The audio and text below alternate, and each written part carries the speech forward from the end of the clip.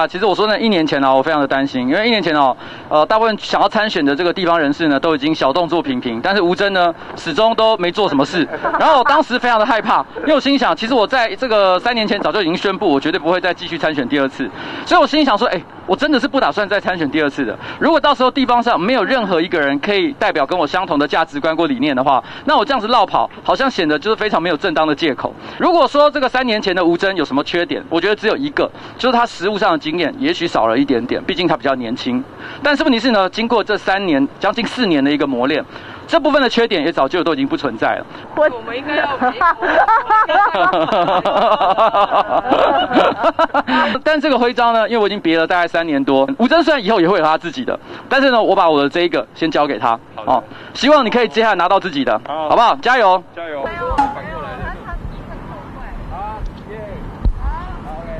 我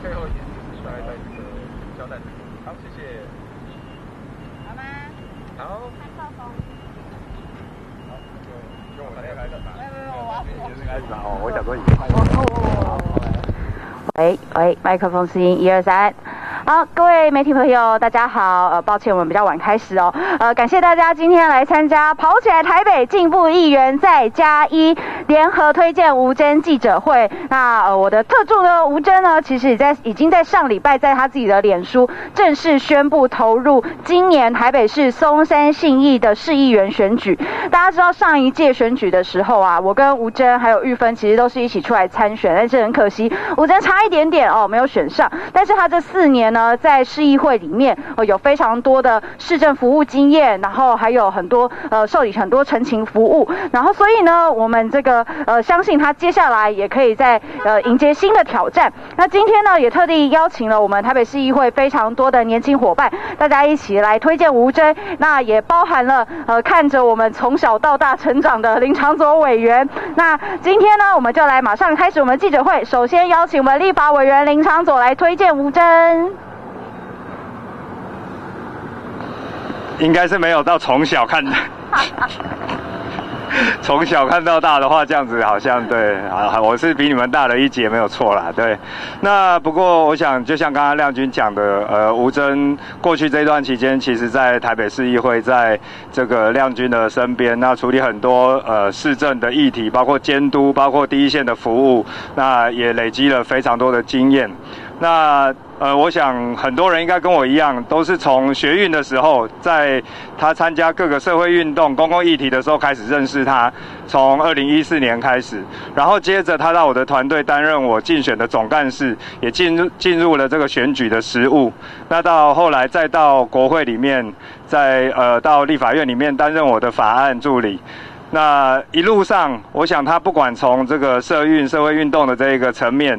再到这个到国会里面，到选举的实务，再以及自己也出来参选。那后来呢，到亮君这边，在第一线为市民朋友服务。我想他真的是在整个这个政治上面的历练，都已经有不同层面的体悟了。我之所以说是体悟，是因为其实这一路的选择都是他自己坚定做下来的决定。那他的想法也都非常的单纯，就是继续的往前进，继续的学习，继续的累积。所以其实我也都知道说，在这个过程里面有很多的机会可以给他选择，但是他都决定了，就是继续走到这个二零二二年的时候，他要继续再参选。这是他非常坚定而且单纯的一个决定。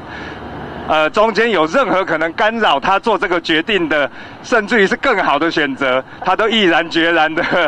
这个排除那一些选择。所以我今天给他的这一句话，就是因为他环抱单纯而且坚定的热忱，用行动落实理念，他非常的坚定，那而且也非常的有经验，而且从我刚才讲社会运动到中央到地方，他都累积了非常这个深的这个呃所有的这个服务的一次一次的跟大家呃。一起互动，一起这个累积他的经验的机会，所以我想对松山新义来讲，他绝对是一个不可多得，那可以兼顾理想以及服务的市议员。所以呃，吴真加油，这一次我相信你一定可以这个顺利当选。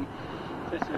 好，谢谢 f r e d d y 好，那么呃，大家知道我跟阿苗还有吴真现在有开一个 podcast 节目，叫做仁爱路四段五百零七号，其实就是台北市议会的地址了哈。那二零一八年在选举的时候，其实我们是分属不同政党哦。当时我们是时代力量，阿苗是社民党。那其实当时没有那么熟。那后来呃，在这几年我们在议会有非常多的议题合作。那所以呢，我们在交流下来发现说，哎，其实呃，对方并没有我们所想象中哎差异那么大，好像不同政党可能。呃，很多事情不能一起做，但是呢，我们其实，在非常多呃理想跟市政上面的议题，都有很多共同的理念跟想法。那有时候呢，我们在议会里面能够大家彼此合作，发挥更强大的战力，其实呢，会更有力量哦。那么我们现在呢，就来邀请台北市议员苗博雅来推荐吴征。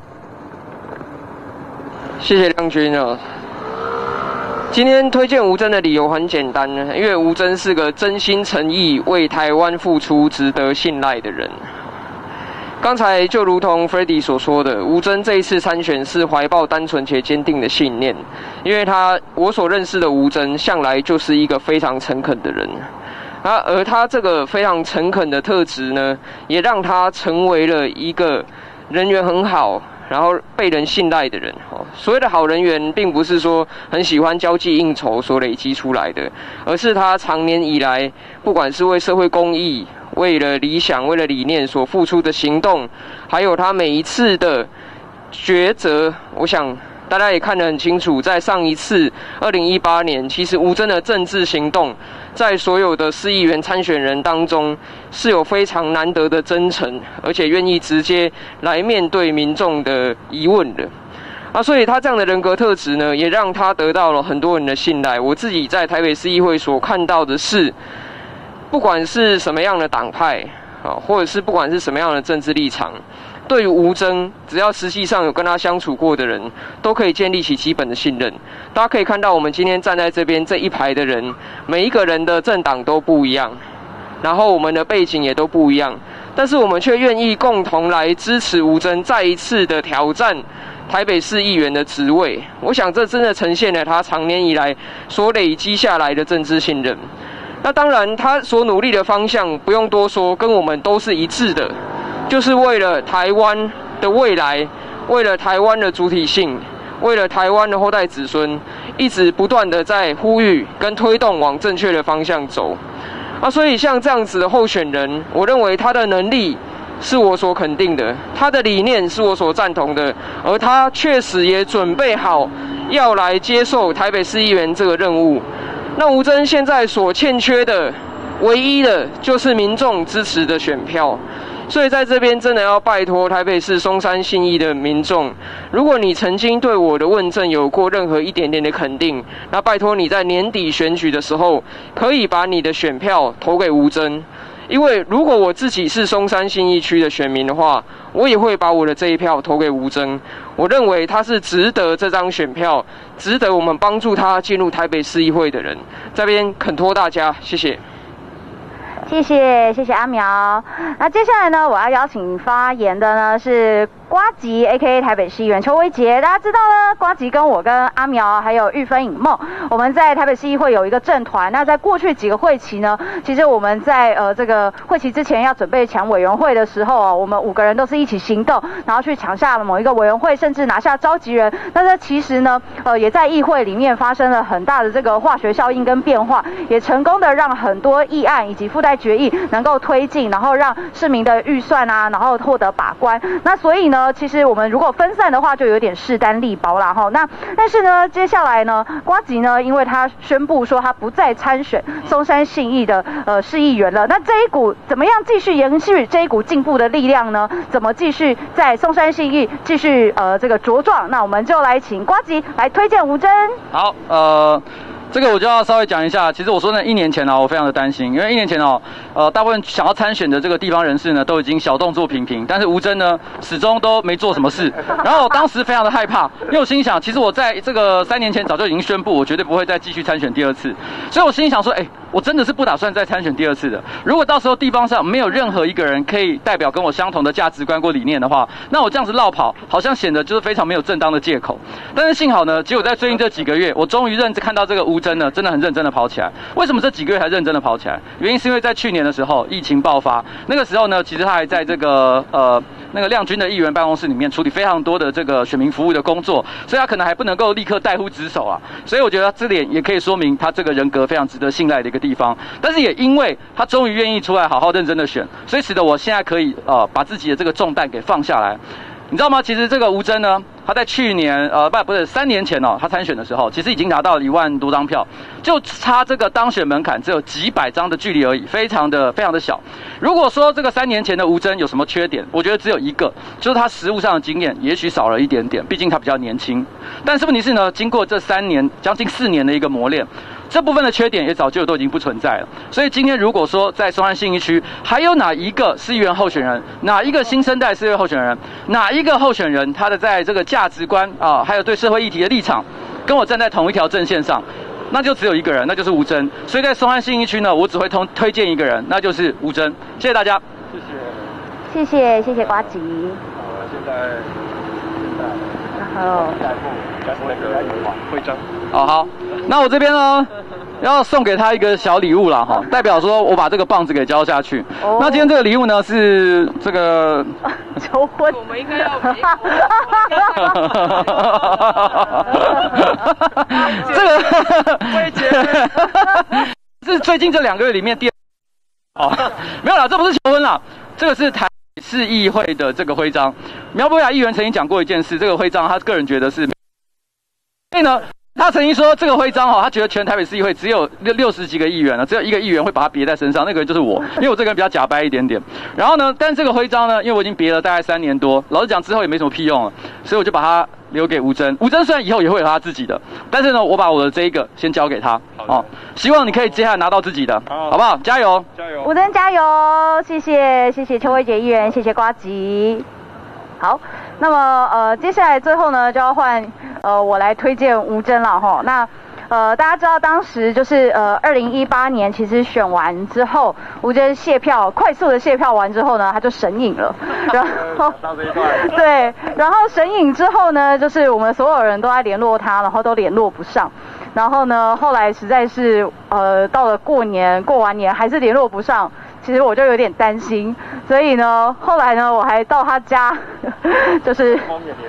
对，社工 没有，还还打、哦，我记得那个呃台北市党部，当时台北市党部还有打给吴征的妈妈哦，然后就说，哎，这个吴征都没有接电话，事态严重。然后后来呢，我们实在有点受不了，因为其实在呃选完之后，我就有跟吴征约定说，他不能呃就就此消沉，一定要继续在政治圈努力。所以我希望他可以来我的办公室，反正就历练四年，二零二二再战这样子。但是呢，在那之后他就神隐，所以我也联络不到他。但是呢。时间到了二零一九年三月一号，他应该要到职的时间，他还没有出现，所以呢，我就这个有点受不了，我就直接去他家，然后率着大批人马，连里长都去哦，然后就破门而入，然后吴征其实在睡觉啦，哈，那所以他其实是很平安，但是他就是当时也是一直在觉得说啊，那接下来到底要怎么办？然后他甚至还一度说什么他要去市农工商，然后说什么他要先去饮料店打工啊什么的，然后我就想说怎么可能？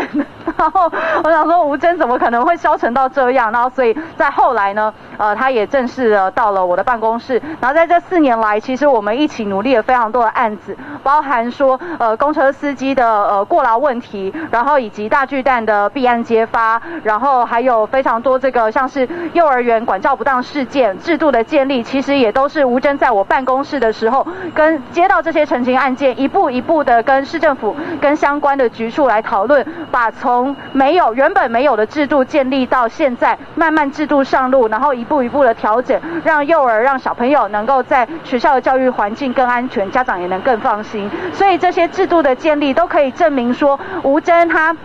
并不是只有单纯只有理想哦，所以呢，我觉得这边我的推荐呢，就是吴征呢，因为他是一个正直而真诚的人，这是他在我办公室，我认为他这将近四年来我给他的评价。当一个呃政治工作者，最重要的其实就是正直。在面对各种的诱惑，或者是面对各种不公义、不正义的时候，他必须要站出来，坚持他的理念，坚持他的价值。那真诚呢？我想刚刚 f r e d d y 跟其他的呃议员们也都有提到，吴征就是一个真诚的人，他就是真心为你哦，不为别的事情，他就是希望把你的事情处理到好，希望能够为你的生活呃能够有获得一点改变，让你的生活更加的幸福。所以呃。我推荐吴征，我希望他在今年一定要选上，然后我们今年所有的人十二月二十五号一起在议场里面宣誓就职。谢谢。好，那么呃，接下来我们等一下哦。好，接下来呢，我们就邀请到今天的主角，呃，也就是我们接下来准备参选松山信义的吴征。喂。好，呃，谢谢，谢谢今天现来现场参加我的参选记者会的媒体朋友，然后呃，许多我们平常在议会一起合作的同仁，然后谢谢亮君、长左、瓜吉、阿苗，然后呃，还有。呃，玉芬议员他也有为我录了一段祝福的短片，因为他刚确诊完，现在还在自主健康管理。那另外今天呃，其实也有邀请尹梦一起来，不过他因为另外有已经本来安排好的药物哦，所以但他也有向我线上呃祝福，希望今年都顺利这样。其实刚刚听下来就是非常感谢呃大家，就是很自然很真诚的把这几年跟我相处的交流经验都呃可以愿意帮我分享出来。那我在这边也想再跟大家，呃，所有松山新义区的市民郑重的自我介绍一次。大家好，我是吴征，我今年要参选台北市松山新义区的市议员。那四年前呢，我就也参选松山新义区的市议员。不过当时对我来说，我对参选的想法是，呃，太所谓的太阳花青年走入地方政治。那坦白说，现在回头去看。也会觉得说，哎，这样的想法其实还没有还不够成熟，应该是有更多的角色我们可以去扮演，更多的责任要承担的。那四年前我在松安新义区获得了一万一千两百四十六票，这一万一千两百四十六票是乡亲市民给我的肯定，以及给我一个机会。到今天我还是非常感谢四年前支持过我的朋友。那四年前没有当选，也给了我更多的时间沉潜和历练。让我去检视自己有哪些不足的地方，所以这四年来，就像刚刚亮君讲的，呃，我四年来在林亮君办公室，我们一起处理了非常多的市政议题，包括大巨蛋违法施工，呃，公车这个业者违反劳基法。那我们也推动了长照以及幼教制度的改善，希望可以协助市民呃的生活问题直接得到解决。那除此之外呢，呃，除了在议会的服务之外，我自己平常也在我家附近的社区担任呃国小的导护志工，就希望可以让大家在日常生活中直接感受到说，哎，我的出现可以为大家带来一些帮助。所以我在这边要向大家报告，经过四年，我准备好了，我将带着，我已经带着更大的热情以及更多的经验。要来服务松山新义区的市民。那除了我自己在这四年之间的准备之外，我也在我的伙伴们身上学习到很多。当我看到 f r e d d y 委员他把中正万华许多荒废的国有地都整顿成啊很漂亮的绿化的公园，然后亮君除了我们刚刚讲到这些市政议题之外，他也为地方争取狗公园，争取很多的市政建设、市场的改善。然后瓜吉推动了这个囤房税的改革。阿苗在。呃，许多市政议题上，像最近的台北通，都展现了强烈的监督。我在我的伙伴们身上都看到，进步的力量不是只有理想，而且他们能够把理想带进体制之内，化为现实。所以我也希望这次参选，我的参与，我的付出，可以像他们一样，为台北市带来更多美好的改变。最近疫情延烧的非常严重，我想我们今天在座每一位呃伙伴最近都在忙着处理各种疫情类疫情类的陈情，好确诊者的收治、居隔单的开立、好停课、快筛买不到这些问题。那我最近在地方上走动，我也看到疫情对我们松山新义确实带来很巨大的影响。我们饶河夜市现在的人潮比过去只有不到一半，啊传统市场买菜的人也明显减少很多，所以。疫情已经对呃整个市民的生活产生了很巨大的改变。那我想在这样一个人与人被疫情隔开的时候，其实我们都更需要仰赖台北市的政策以及建设来去搭起哦人与人之间的桥梁。所以这次我参选主轴，我是希望可以打造一个在地生活圈，去推动公园的总呃通用设计总体检，让长辈在居住家附近就能自在的生活，去改善行人的交通、行人的空间，可以活化社区内的网路，去推动多元化的托育方案，来减轻呃父母生育的压力。我希望我的参与可以为台北市带来更多更多的改变。所以最后要再次拜托大家，大家好，我是吴征，我今年参选台北市松山信义区的市议员。恳请大家这次支持我，让我成为你们生活的助力，让台北跑起来。嗯，好，吴尊加油！谢谢加油。那我们这次呢，为了要祝福呃吴尊能够旗开得胜，我们要准备一个小礼物啦，哈，麻烦这个吴为把这个小礼物给我们。哦，所以是要先收，好好好，好。就是呢，我们。我们每个人呢都准备了一元，然后呢，我们就要把这个一元送给吴真，就是希望吴真在年底能够顺利当选议员。来，吴真，送给你。对对对。然后呢，为什么是就是今天也凑巧刚好有四个议员，所以呢，吴真就一定会当选四议员。好，大家可以拍照一下。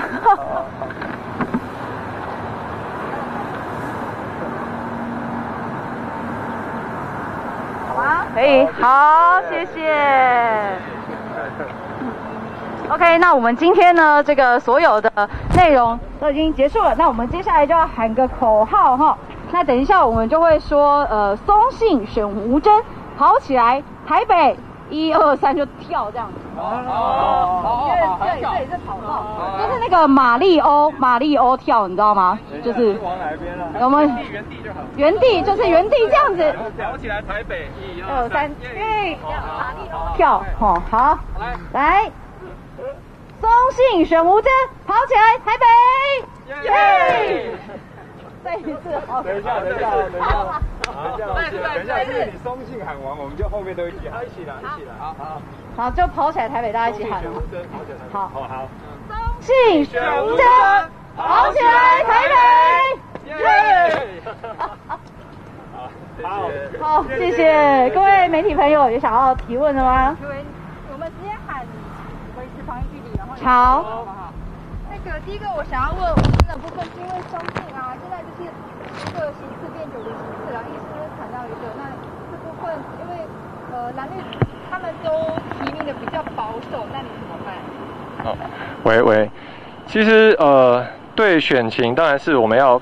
拼尽最大的力量去冲刺，去争取每一张可能的选票。但其实呃我觉得对我来说事情还蛮单纯的，因为我这次是无党籍参选，所以其实重点就是在投票这一天能不能有大概。呃，一万三千位、一万五千位市民，他们是喜欢我的个人特质。像今天，呃，我们这么多好朋友，他们说，呃，因为我很真诚，我觉得我值得信赖，愿意把这个机会给我，是不是能够，我现从现在开始到投票这一天，接下来两百天的日子，能够争取到一万五千位的市民，他也看到我这样特质，然后愿意把这个责任交付给我。我觉得对我来说，这好也其实也就是像是一个呃单程的赛跑一样，就是从现在起点到终点非常单纯。那我自己最近在地方上走动，去市场啊，去拜访过去的呃所认识的店家等等。其实我自己感受到是很多人，很多我的上次有投票给我的人，他们我遇到他们的时候，他们其实都有讲到说，觉得啊上次真的很可惜，就差一点点，这次一定要更加油。所以其实我对自己对这个问题没有感到很焦虑，是因为我感受到说，哎，在。这个支持我的人，我们之间其实是被上次这样的一个记忆跟情感所连结的，所以对我来说，我现在希望做的就是可以把上次已经愿意支持我的人顾好，然后继续让他们看到我的成长，同时也在这一次，呃，像我刚刚提到，我们规划一些证件，去说服、去争取更多年轻人，然后以及所有松山新义区市民的支持与认同。我觉得对我来说，我相信把所有。工作呃所有该做所有说服的这些任务都做好去认真掌握每一天。我觉得这样子到最后应该就是可以得到一个开心的结果。他不是想要说问学生跟瓜子部分因为其生瓜子有提到说就是很希望说可以把原本有的省票跟支持者去转移到我们但是其实这个对你那这个过程要怎么进行然后怎么说服众可以做这件事情，吴正怎么看？都可以，都可以。看你没有把把这个选项转移到自己。还有你怎么做都可以的意思。喂喂，我可以回答你，或者你要先回答都可以。好，我先回答，然后瓜吉接着讲好了。我觉得呃，对对我来说，当然是很谢谢瓜吉，他刚刚也有说他呃这次会支持我这样，然后也愿意把这个信赖托付给我。那我想。瓜吉的很多支持者，其实我们大家都年轻人嘛。那其实他也不是说看着说，哎，可能因为我喜欢瓜吉，瓜吉今天讲他支持吴征，那喜欢瓜吉人就因为这样也喜欢吴征。我觉得这个其实不一定。但我想。重点还是说，其实大家都是年轻世代，然后呃期待看到很多呃不同于过去新的气象来发生，所以我觉得这也是我这次选举的主轴，就希望可以用一些不同于传统的方式，像刚我今天弄这个谐音梗，因为我自己很爱谐音，所以希望有趣一点，然后好笑一点，轻松一点，然后让大家去呃看到我想谈论的市政议题，来争取他们的认同。好，我觉得呃，因为毕竟我支持我的人哦，毕竟他们也都有自由的意志，所以我跟单纯的跟他讲说，哎，我我支持吴征，他们不见得一定会把票投给他。可是我觉得大家可以思考一下，其实松山信义区呢，目前虽然是九个席位，不管他是九个还是十个，但实质上来说，现在不管是国民党或民进党，基本上呃提名的方向都是以他现在在地经营的比较深入的一些比较传统型的政治人物为主。那当然他们也都有很多值得敬佩跟优秀的地方，但是问题是，如果你今天真的只是要挑一个，就是很关注一些重要的社会议题的年轻人。的话，我坦白讲，现在就只有吴征这一位。那所以其实如果今天有相信这一个价值是重要的，那我相信其实你你的选择也不多，基本上吴征就是最好的选择。而实际上呢，我的选票也不用百分之一百，我相信就算是只有三成的选三成的人愿意相信我的意见，把他愿意转给吴征的话，其实也已经让他绰绰有余了，有也绝对有当选的资格，大概是这样。谢谢。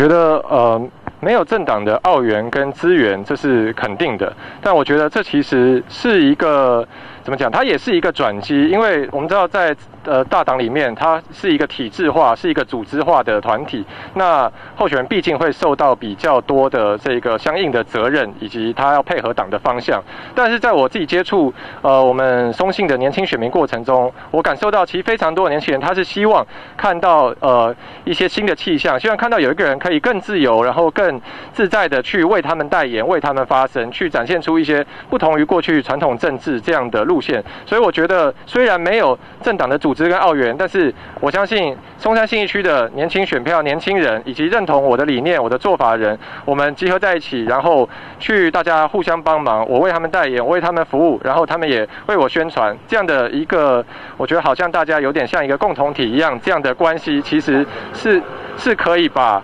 呃我这次在竞选战中支撑起来，有一个呃竞争的一席之地的。